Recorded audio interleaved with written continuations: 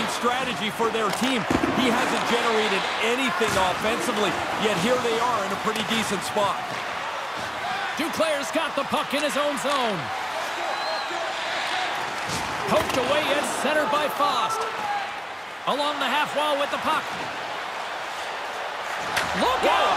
And they score! And we've seen this act before, Racer.